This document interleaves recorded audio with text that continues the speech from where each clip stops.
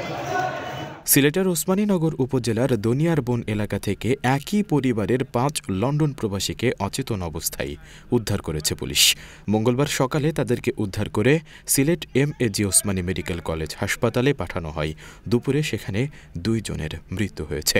মৃতরা হলেন ওসমানীনগরের বড় দিরাইরাই এলাকার মৃত আব্দুল জব্বারের ছেলে রফিকুল ইসলাম ও মৃত রফিকুল ইসলামের ছেলে মাইকুল ইসলাম। অসুস্থ অবস্থায় Sylhet M A G Osmani medical college হাসপাতালে ভর্তি রয়েছেন রফিকুল ইসলামের স্ত্রী হোসনে আরা বেগম, তার ছেলে সাদিকুল ইসলাম ও মেয়ে সামিরা ইসলাম। তিনজনের অবস্থা আমি দেখলাম যে অত্যন্ত খারাপ, তারা খুব জটিল অবস্থায় আছে এবং আমরা শুনেছি যে তারা যে বাসায় ছিল, বাসায় নিজের বাসায় ছিল এবং রাত্রে নাকি খাওয়া দাওয়া করে ঘুমিয়েছে।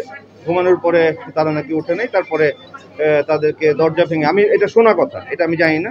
তো এটা পুলিশ ভালো বলতে পারবে? তো ওঠার পরে দুইজন মারা গেছে এবং আমাদের মর্গে আছে ওনারা। এটার পোস্টমর্টমের জন্য যা প্রসেস হয় সব কিছু প্রসেস চলছে। এবং আমাদের তিনজন যারা আছে আমি দেখে আসলাম যে অত্যন্ত খারাপ অবস্থা। এবং যা যা চিকিৎসার দরকার আপনারা জানেন যে এদের সাথে আত্মীয় স্বজন কেউ নাই ঠিক আছে?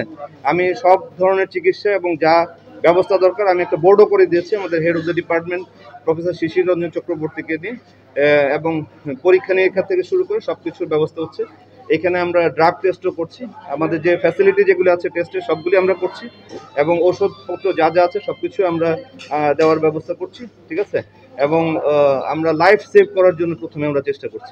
কি মনে হচ্ছে পয়জনিং না অন্য কিছু? এইটা এটা হ্যাঁ, যেহেতু আসছে আমরা এক্স্যাক্টলি বলতে পারব না। এটা পরীক্ষা নিরীক্ষার পরে বলা যাবে ঠিক আছে? তবে যেহেতু ওনারা বলছেন যে ইয়েতে হয়তো পয়জনিং হতে পারে সেটা আমি জানি না ঠিক।